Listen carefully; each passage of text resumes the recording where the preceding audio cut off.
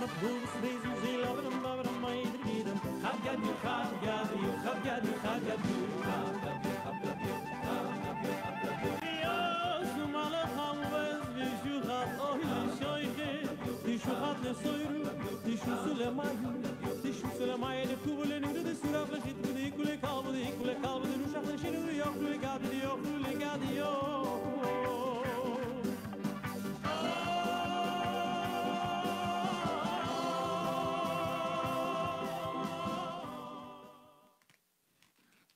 live from Jaywood Studios in New York. This is Vicky Shoyniyow, and I'm Yosef Lai I'll be till 8 o'clock, and Yetz Hashem. Well, let's start with the tefillah to the Ribbono Shel Olam. Let's say together, Abba, Daddy, Tati, whichever language you say, please give us Hatzlacha this hour the way you have always done.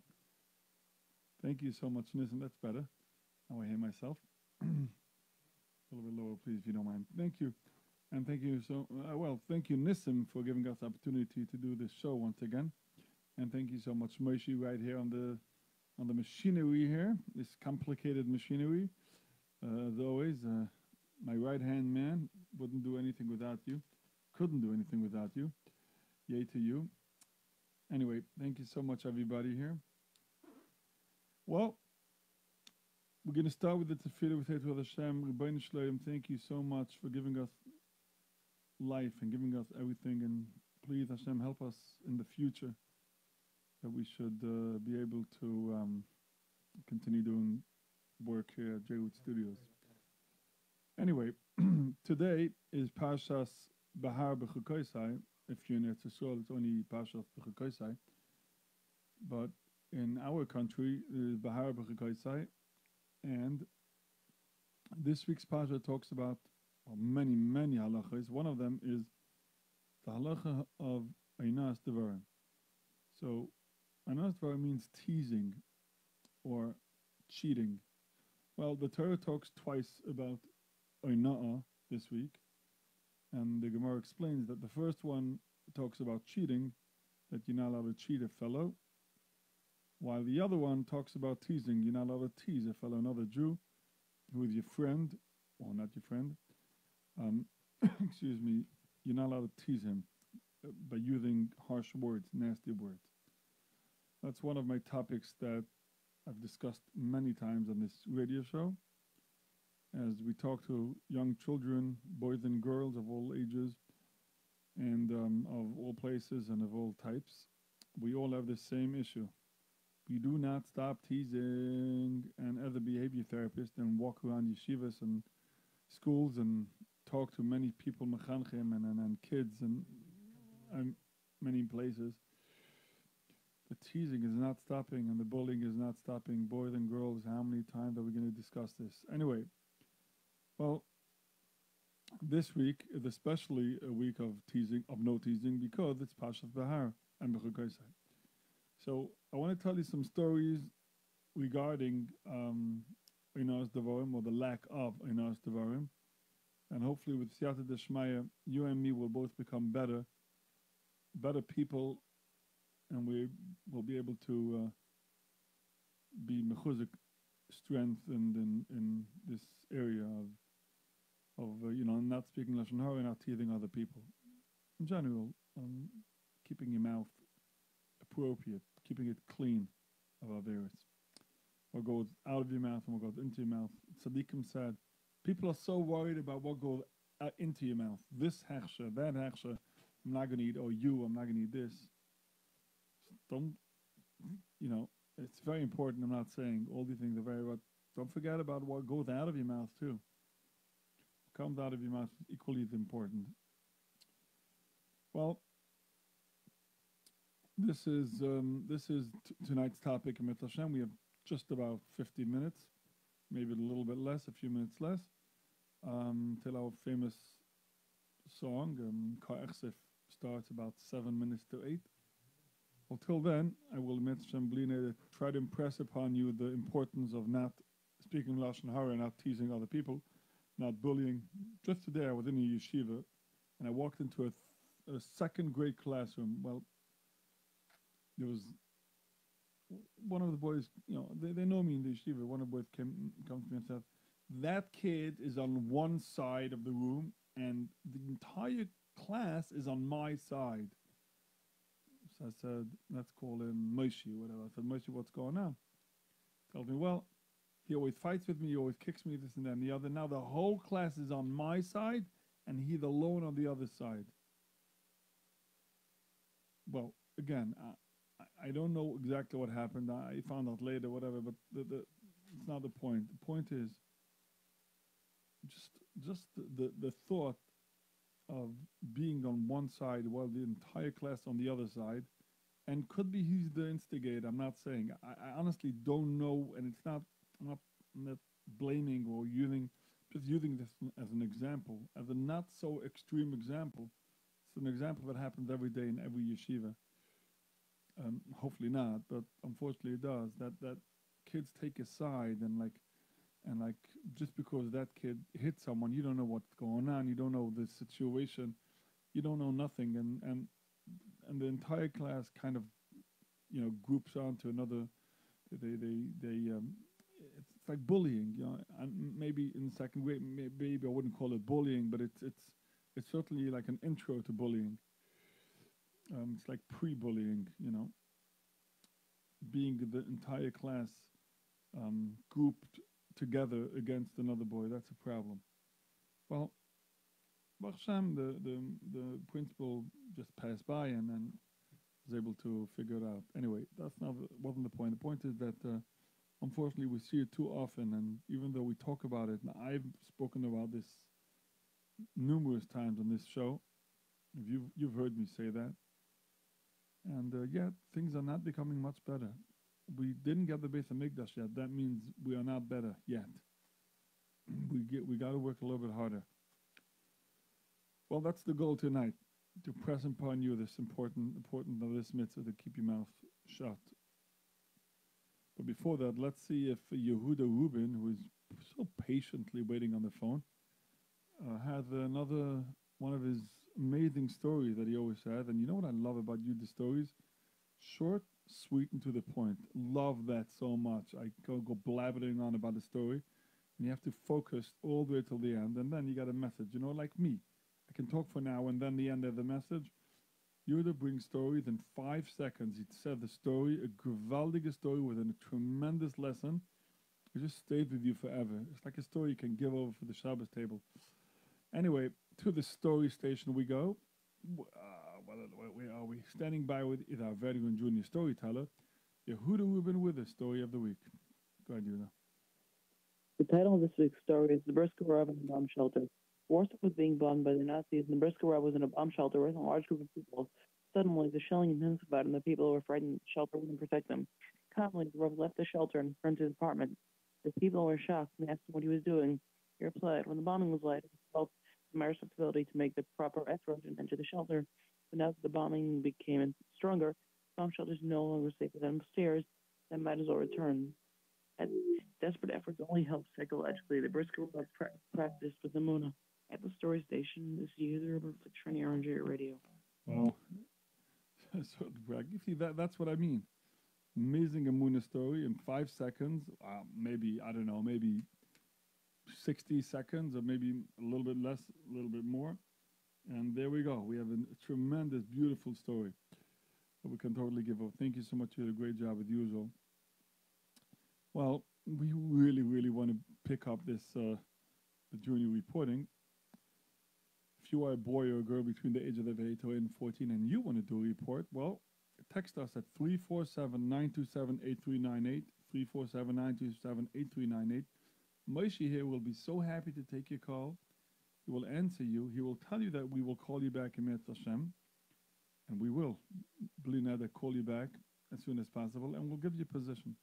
You can talk about sports, you can talk about music, you can talk about food, you can talk about animals, you can talk about cars, you can talk about the map, you can talk about politics, you can talk about the news, the latest news, the news in Israel, the news of tzaddikim. Whoa, there's so many topics you can talk about. Whichever topic interests you, that you can pick that and talk about that. We had kids talk about any other anything under the sun. or you can just say nice Torah on the week. Well, if you want to do that, call us or actually text us at 347 927 text. That's 347 927 8398, and we'll pick up your message. Next time we'll get through it to you. I'll be near to not reject you. What's our motto? No talent is rejected and no child is refused. Well, in the there was a big tzaddik in Eretz Yisrael. His name was the Beis Yisrael. Beis Yisrael was one of the Gerrer rabbis, one of the son of the Imri Emes. He his minhag at Chanukah, he would come out to the shul and uh, light the Chanukah in front of all the people there. And he had like a door walking. I, I, I, I saw the place once where he used to light the Hanukkah candles. There was a door, a, a door going in from the Bismedish to the house. And um, that's where it would light, and people would stand around. And there were a lot of people who wanted to see him light Hanukkah candles. And after that, he said it Torah. So he wanted, the, everybody wanted to hear the Torah, and everybody wanted to see him, watch him say the bracha and, and doing the Hanukkah candles. So there was a lot of pushing and a lot of shoving. So so they, they, they formed something called the shuras, which means rows. So they had like one row and another row and the third row and the fourth one. Of course, the first row you could see best, second row you could see the second best, and third row you could have to uh, stand uh, be on tippy toes, and fourth row, you know, and so on. So you have a lot of pushing and a lot of shoving and tons and tons of people behind her. And one time the Beis Yisrael sent a message with his um, helper, and he said to go tell the people who are standing in the lines and who want to see doing Hanukkah candle that whoever stood in the first and second row yesterday, because you know are eight days of uh, eight nights of Hanukkah, so whoever stood yesterday cannot stand today in the first two rows. So he came out and he said that, and of course, a whole bunch of people who were ready in the first two rows yesterday left and gave a chance for the other people. He said, Ayin Tova, you need Ayin Tova. You must um, give the other people a chance. Well, though this, you know, when the when the few minutes before the Rebbe came in, the Beis Yisrael came in, so he had a lot of helpers. They called Meshamshim. So one of the Meshamshim, he stood he stood over there in front of the rows. So was the Bacher, who stood um, was on the on the bleachers on the benches. He came down and he stood next to the mishamish. A little bit of a chutzpahdige boy. He was a high school boy. So I'm not saying that high school boys, the chutzpahdik maybe didn't come out so good. That's not what I meant. Just saying a fact, how old he was. So he, so he he just he stood there. So the misham said, "You didn't hear what the Rebbe said." The Rebbe said, "You're not allowed to stand there. You stood there yesterday. I remember you." Why are you allowed to stand there? So, you know, that was a, an answer that was right. You're not supposed to stand there either, but he just stood there. She said, um, I don't want to move. Anyway, another Mishamish came and another Mishamish came, and the Bukhrim saw that more people are coming, so they also came down from the bleacher, and there were a whole bunch of Bukhrim standing there. Anyway, this big Mishamish, I happen to know who, the, the, the name of this person, I don't want to say the name, because I'm going to say something not so nice about him, so I'm not going to tell say the name. He came out and he said, "Who started this whole thing? Why is everybody standing here? I thought we said no one." So they pointed to the bracha that he was the first one. She said, um, "Move away from there." She said, "If you move, I'll move. You're not allowed to stand there. I'm not. So if you can stand there, I can." He got so upset at him that he slapped him across his face. And as he slapped him across his face, the rabbi walks into the Beis Hamedrash and he saw the entire scene have this bacher running away from from this from the you know from the from the lines from the shuras from the the rows of people because the, the entire Bismedish was focused on this very spot because that's where the Rebbe would stand right? So everybody watched him. He left the Beis Hamedrash and started crying and went away. Anyway after the Hanukkah candles, the rabbi just ignored the whole scene, the whole story. He, he knew, he saw what happened, and he noticed the whole situation, but he didn't say anything. After Hanukkah candles, the gabbai said, you know, what did I do? Embarrassed him in public. Shouldn't have done that. It's not fair. So he went and he looked for the Spacha and he said to him, look, I'm sorry. You weren't supposed to stand there, but I wasn't supposed to slap you, and please forgive me. I said, No, absolutely not. I'm not forgiving you. Embarrassed me in front of the whole the whole island here, one of thousands of people. It's not happening. I'm not m- m- being mochel.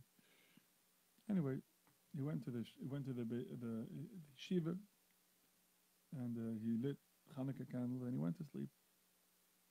The next day, he he came to Beis Medrash to daven Shachris, and the guy and the, the, this guy finds him, and he tells him, "Look, you, you slept it over. You know, maybe you can find it in your heart to be mochel. I, I, my whole night, the whole night was disturbed because I was so upset that I lost it on you and I let you, I let you down and I slapped you across your face. I feel so bad. I'm sorry. Please, can you forgive me? So he said, um, said, no, I don't forgive you. He said, what, what, what can I do? I don't know what to do. Okay, he went away. He went back to the yeshiva it was the morning, was like the following day. Went back to Shiva. Suddenly, a boy comes running, tell him, you know, the rabbit's calling you. Rabbit's calling you. He ran down to, to the Beis Hamedrash. The Beis Hamedrash is like on the bottom of the mountain. The Shiva like all the way on the top of the mountain.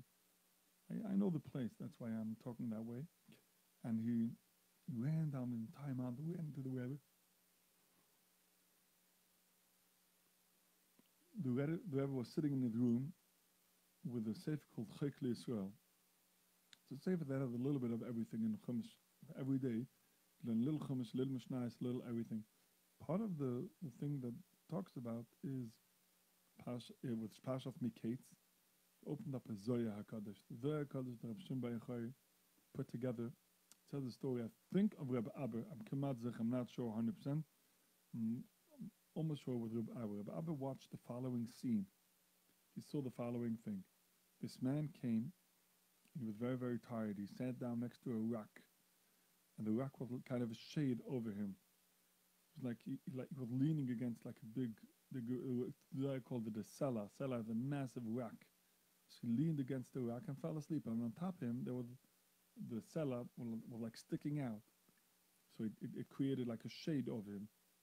So he fell asleep and he slept very well. In the middle of him sleeping, Reb Abba watched a, a snake coming and and coming to bite Reb Abba, um, this man. And as he was going to bite him, another animal comes and kills the snake. Anyway, so the snake's laying dead next to him. He suddenly wakes up. This man wakes up. He's all rested. He gets up. As soon as he gets up, he moves away from the spot. The entire um, rock collapses on the spot, exactly on the spot where he was sitting. In other words, if he would sit there another few moments, he would be buried there alive, killed from the rock. So Rabbi Abba watched two tremendous nisim that he was uh, he was um, he was saved from. Two um, really could have been killed by any of the two. He ran over to Rabbi Abba, said to him, "Tell me, what did you do?" And I'm a peddler. I sell, I buy pots and I sell pots and I fix pots, whatever.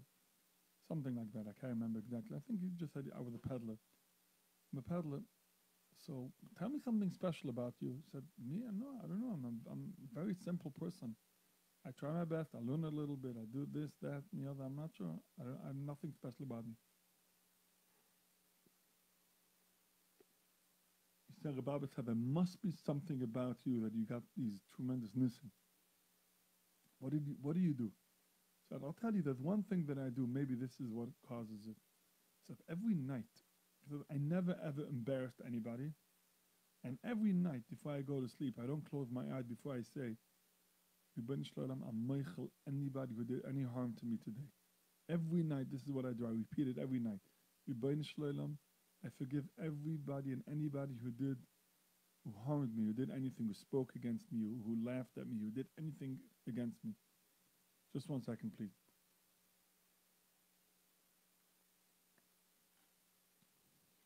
I'm finding it hard to talk without some water. Okay, so um, so he opens the Zohar and he shows this book of the Zohar and he explains to him what what's in the and he says to him in Yiddish, "Die verstehst? Do you understand?" And he closed this, the the he says, I get the Hanukkah, have a great Hanukkah. And the boy walks away and he's thinking, what did the Rebbe want from me? And he, c- couldn't figure out what he wanted from me. He didn't, he didn't like connect the dots. The whole day he's walking around, comes by night. It was again the time of Hanukkah candles, and this time he wasn't going to stand in the line next to this gabbai anymore. Very embarrassed in the back of the line. Suddenly you hear him what Rebbe said. Of course, Rebbe wants me to forgive him. How didn't I not see this? He wants me to forgive him. Fine.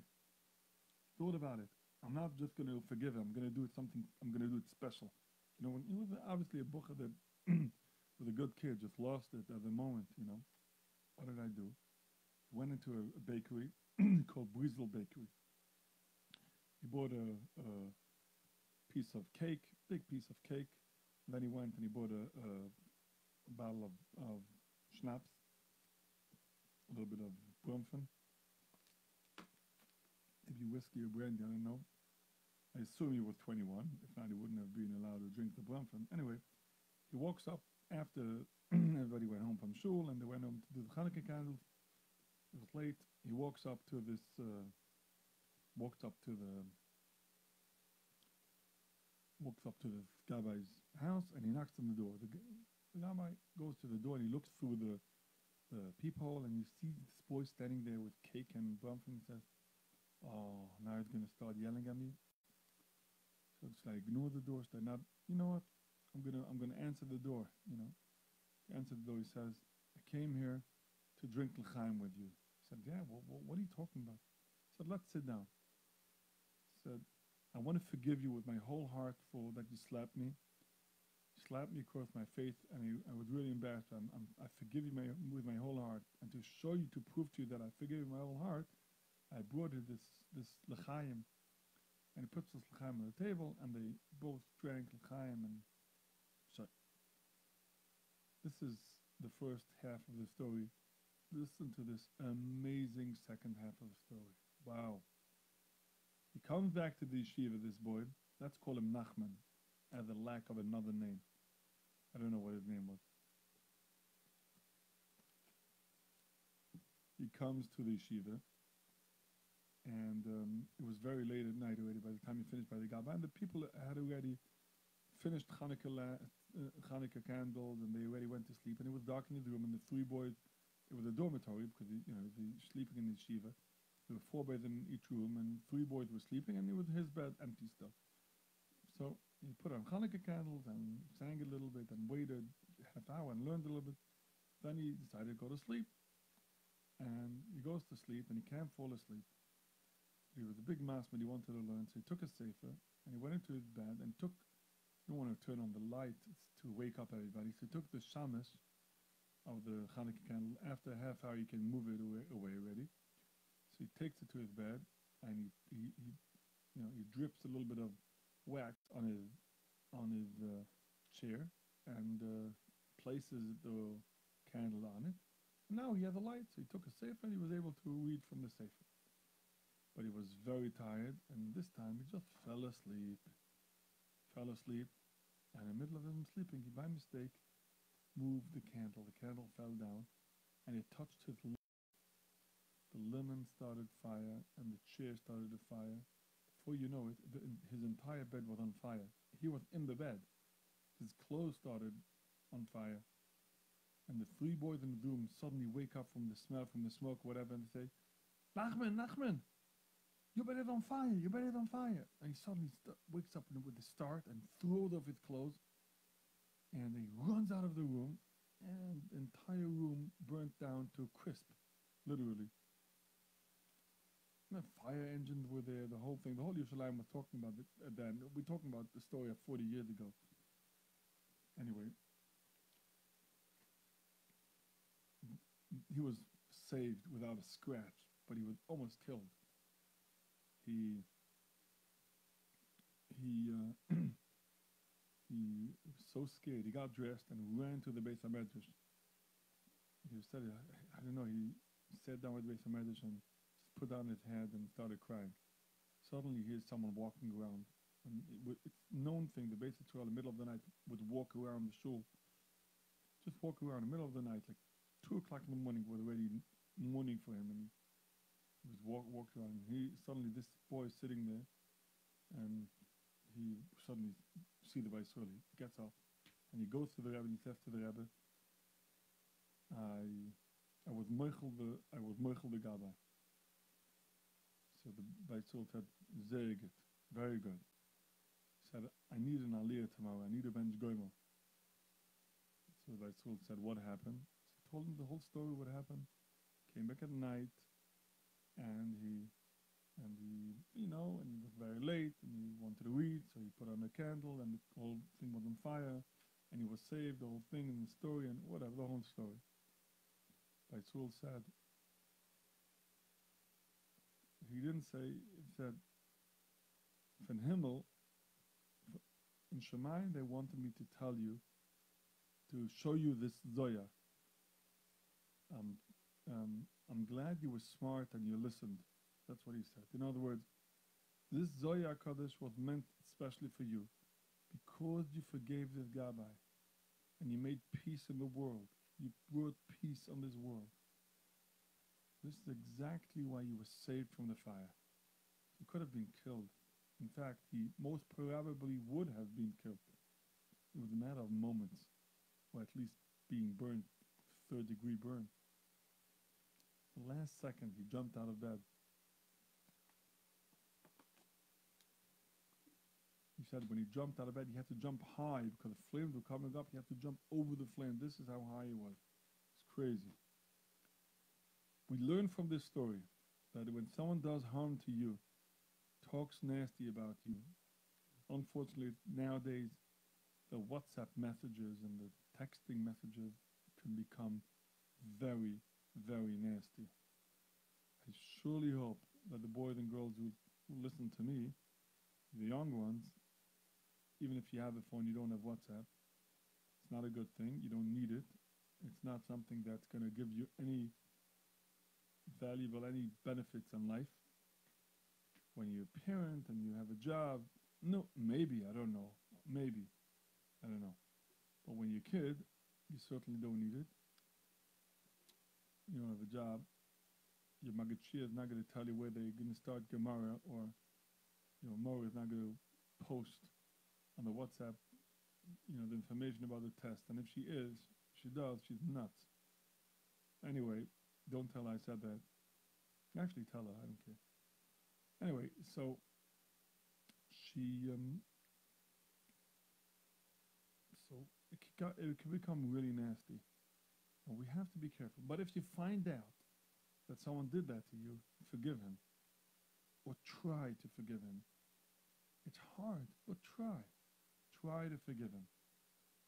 Say it without meaning it. Say it, I forgive him. Or I forgive her. You don't mean it. You can't. It's hard. He, he hurt, he or she hurt you so badly. They made a joke. Everybody laughed. It was all about you. You, you missed the, the, the hoop. And they all laughed at you. You were embarrassed. Someone said really nasty about your drawing. Or someone saw, someone saw um, your test and it was a really low mark and he told everybody. He's so mad at him, embarrassed you. Or even when Rebbe or teacher says something to you in class, and they might have not been so so sensitive to you as you would want them to be, and they embarrassed you, forgive them. Try, try to forgive them. Say, I forgive them. And the next day, say again, I forgive them. I'll tell you my personal thing. When I have a complaint about someone and I try to forgive them, do you know how I do it? I daven for them. I daven that they have good kids. But I very, very badly want good kids, my own. And uh, in order for me to forgive a person, if I daven for them that they should have the thing that I want so badly, then I'm forced to forgive them. So if you do that over and over and over again, over again, you daven many, many times for the same person, for the same thing. After a few times, you actually start meaning it, and then you can forgive. It's hard. I, don't don't get me wrong. I know it's hard, That's life. There were two Bachrim learning in a yeshiva. I heard the story from Rav Arstein, who lives in Israel. He studied on their tape. It's an amazing story. Not such a major, major story, but it's an amazing story. I love these stories that I'm going to tell you tonight because it's all stories of like me and you guys type of guys. That story that happened to the Baal Shem Tov, things that we feel like cockroaches when you hear these stories. Me and you type of guys, regular, regular people. Two Bachrim, one of the Bachrim was a very smart kid, to the point that every time kids in his class had a question, they would come and ask him in the Gemara, in math, anything. He was a very smart kid, everybody knew that. And he also was a very nice kid. Right? And, uh, they grew up, they went to high school. The whole class kind of moved on together. They all went, not all of them, but many were in high school. They were friends for years already. And they would ask each other questions, and he would, he was like popular kid. Then another kid moved into the block. That's, the, you know, it's, a, it's, it's an expression. Like another kid came into the yeshiva. And uh, he became part of the class, and he was even a smarter kid, and an- another brilliant, a genius kid, also a very nice kid. And the, the guy, the people in the in the in the class, kind of moved away from kid number one, and they moved to kid number two. You know, not everybody, but many of them. And he was like kind of, you know, to the side, as we say. Felt very bad about it, but didn't say anything. One day, and another day, and a week, and a two weeks, and four weeks. Deep, deep down in his heart, he resented it so much that suddenly he's not popular anymore. And, this new guy became so popular. It's a, it's a very common problem in, in, in yeshivas and in schools when a new kid becomes popular and the old one. But he was a nice kid. He didn't want to say anything, and he didn't want to wish anything bad to this to that other kid. So it was nice to him. One day, this boy B didn't had his own question. People came to ask him a question, and he had no idea what to say. He said, "You know what? Let's go to boy A. He's a big Talmud Chacham. Let's ask him." So the whole class kind of came together, and they came to ask him. And in this time, he really lost it. He said to him, "Come on, what's going to be with you? You'll never be a Talmud Chacham. Don't you know how to learn a piece of Gemara?" He wiped him down a little bit. You know, it was not nice to him, to say the least. In other words, boy A was not nice to boy B. Years ago, anyway, he turned around and was very embarrassed, but uh, he didn't say anything. Anyway, he answered the question, and uh, they moved on. Boy B became a chassan, got married. Boy A could not find his shidduch. Tried this, tried that, just could not find the shidduch to the point that he was 27 years old.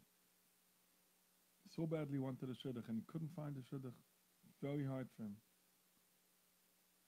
At a certain point, this boy B meets a friend and he said, You know, boy A, let's call him Shmuley. Boy A, Shmuley, is still in yeshiva. Can you imagine? He was such a good kid. Uh, So the other kid, well, let's call him Daniel. Daniel said, Shmuley? Of course he's in yeshiva. It's because of me. I'm, I'll never get, he once embarrassed me in public and I cried and I never forgave him and I'm never going to forgive him. Of course he's still in yeshiva. You think he's going to find the shidduch? Nuh-uh. He said to him, he said to him, um, um, why are you talking that way? Why can't you forgive him? It's been so many years already. Forgive him. He's so, you know, he's so sad. All alone in Shiva, the entire class is gone. He's all alone there. Come on. Why can't you forgive him? Said, I can't forgive him. I can't forgive him. A month later, he meets him again. He tells him, Daniel, come on.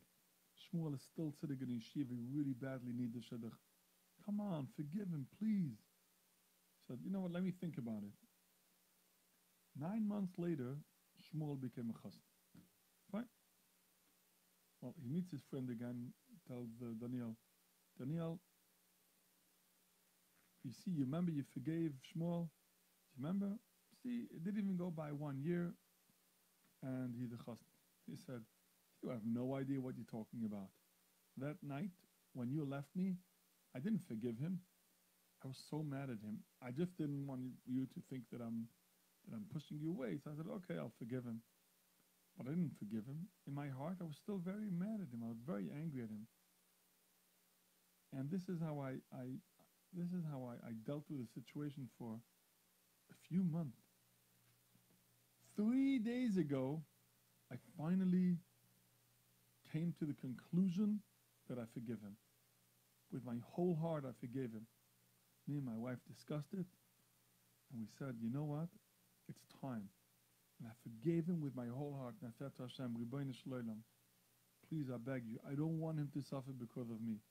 I really, really, really forgive him. That night, the Shadchan called. And three days later, he came to Chassan. Because if the Shidduch is meant to be, it could happen in three days. Imagine when he forgave him three days later. Why did he wait so long for Shidduch? Because he said a nasty thing, he embarrassed him in public. Boys and girls, do you know what it means to embarrass someone in public? You can't even imagine. You cannot even imagine. I, I once dealt with the following situation. It's a little bit of an extreme situation. I dealt with it. The little boy who was in fifth grade. Mainly I deal with boys, so my stories are with boys. Little boy was in fifth grade, right? And um,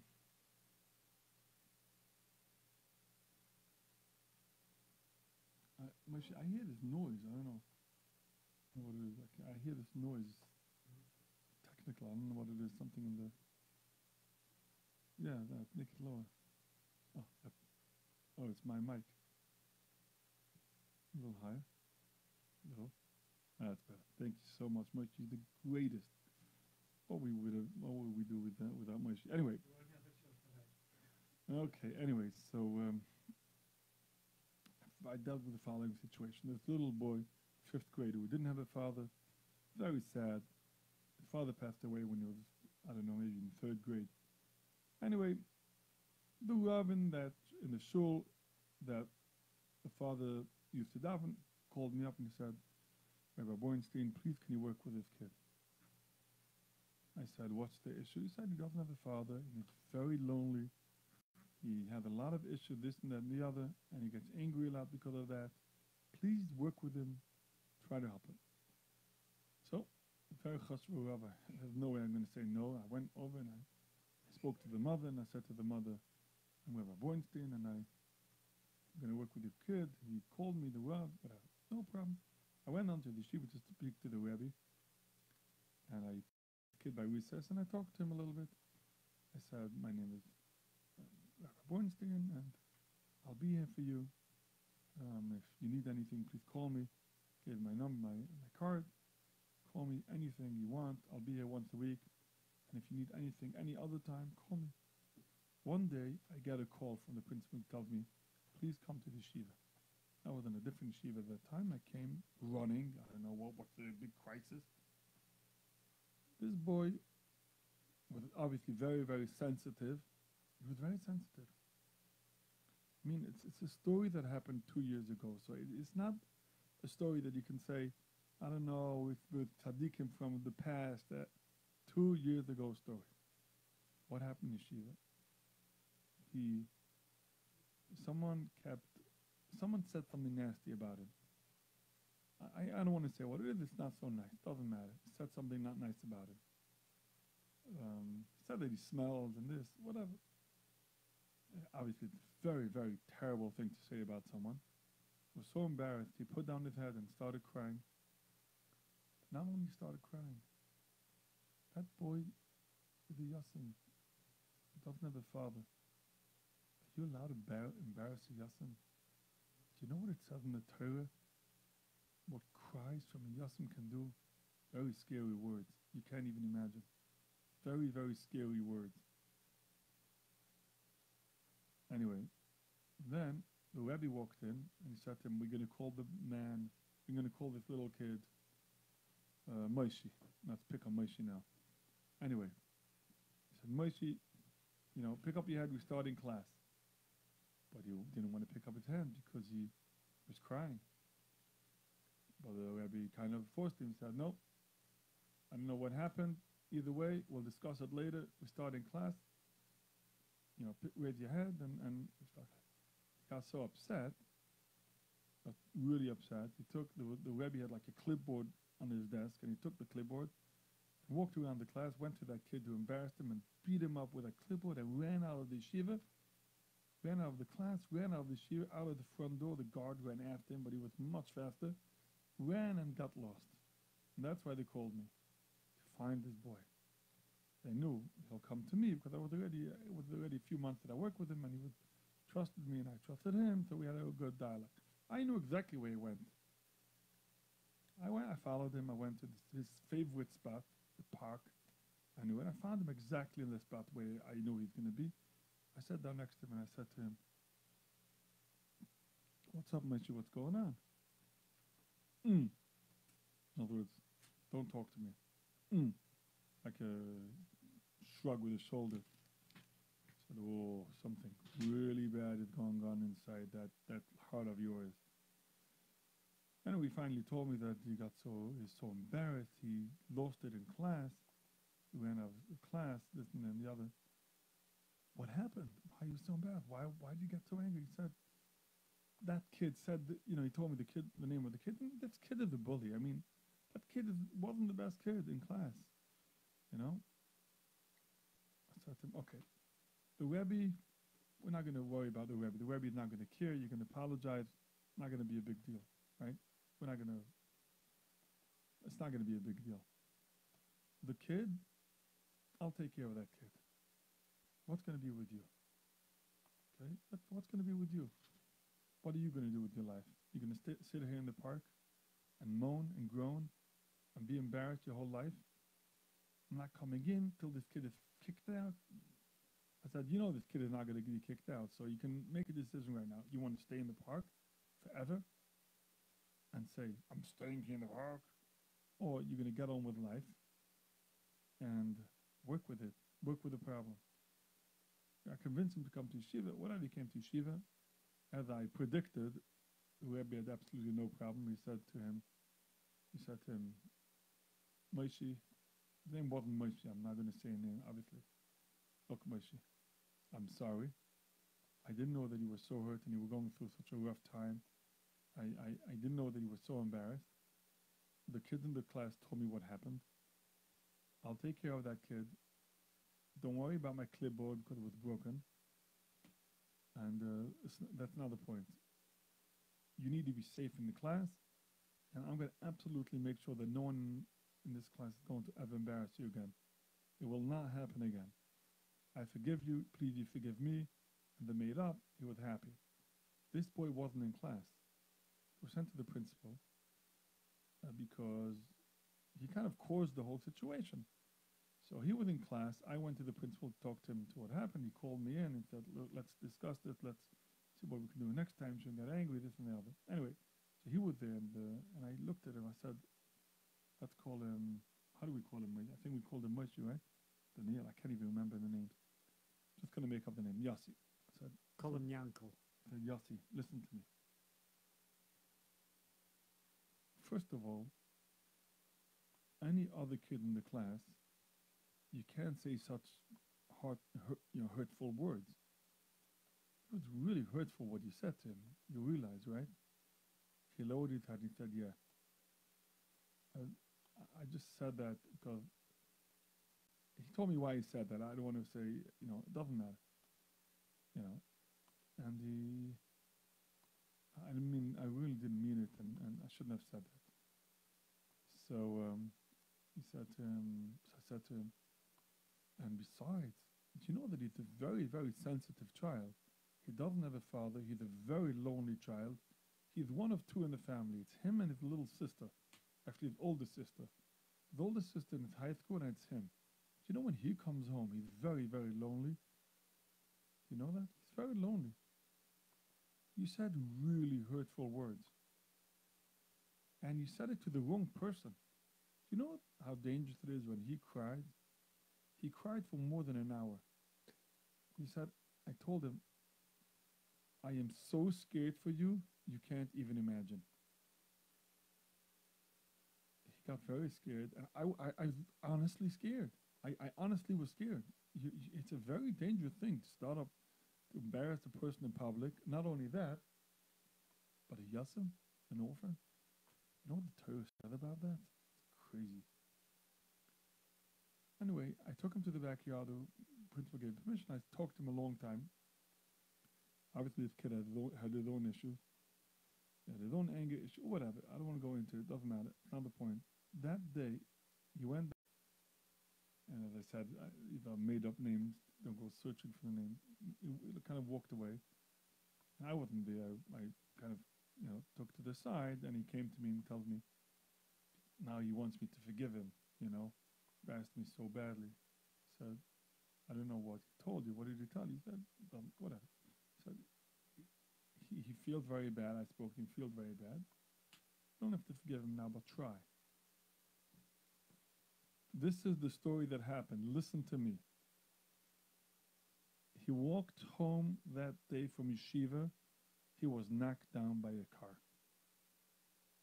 He was knocked down by a car was taken to the hospital.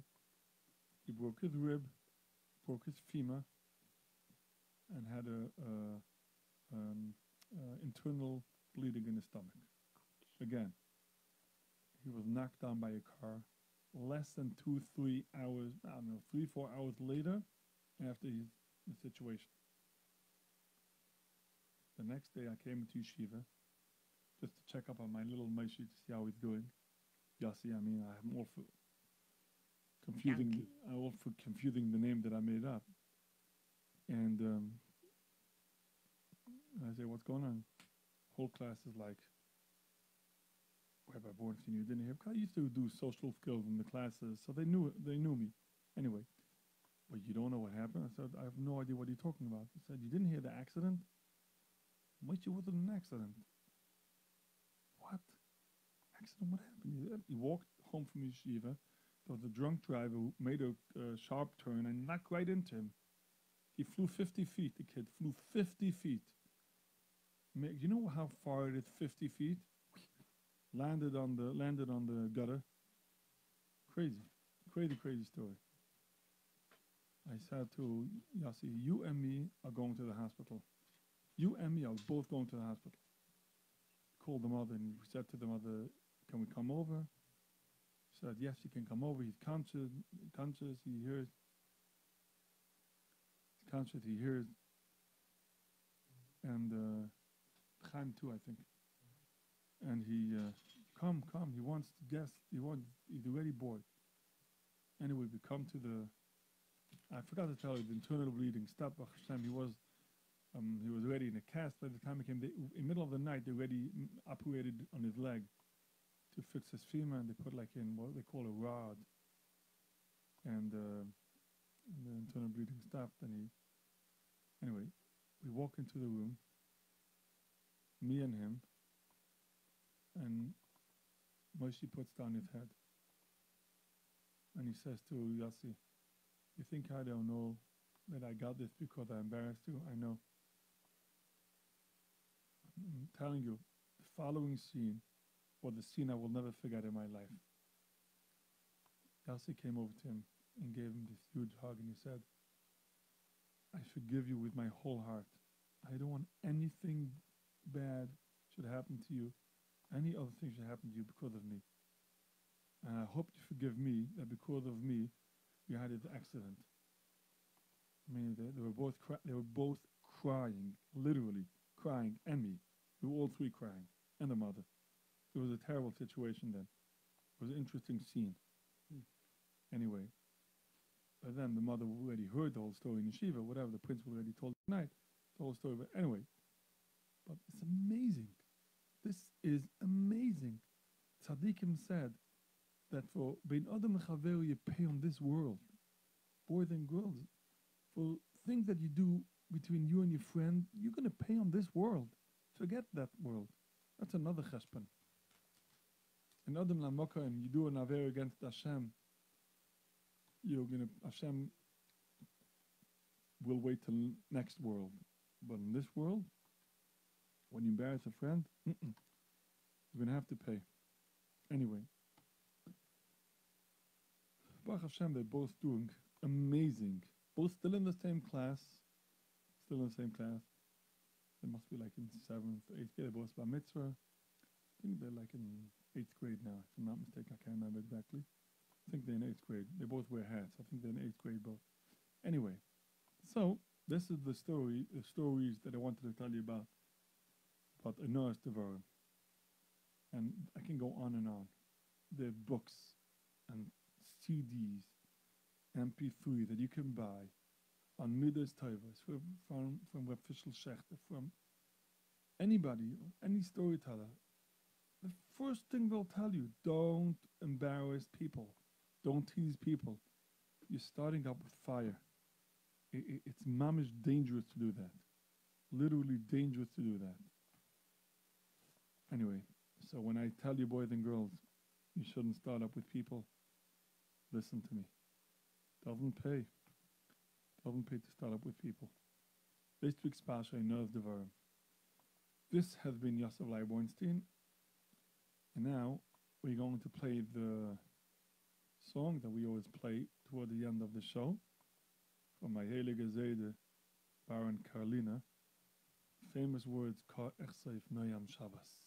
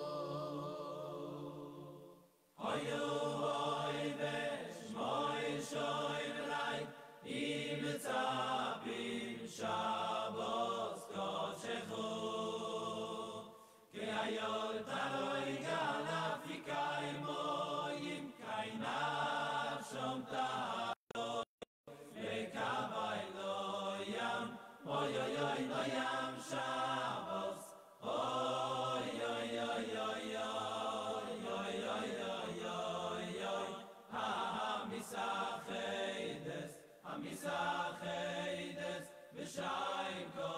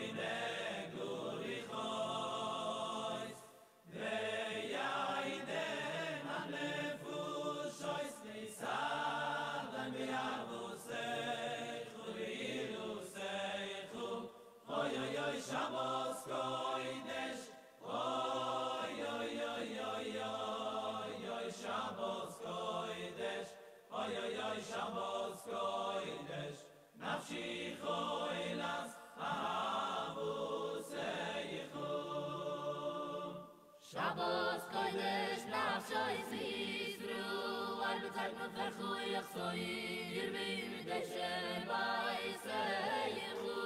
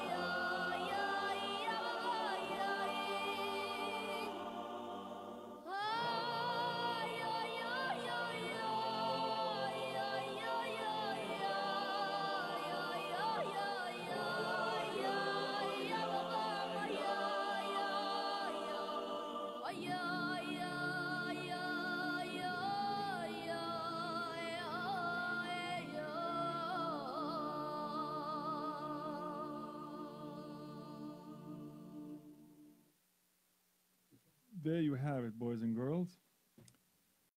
That's the show tonight, and excuse me.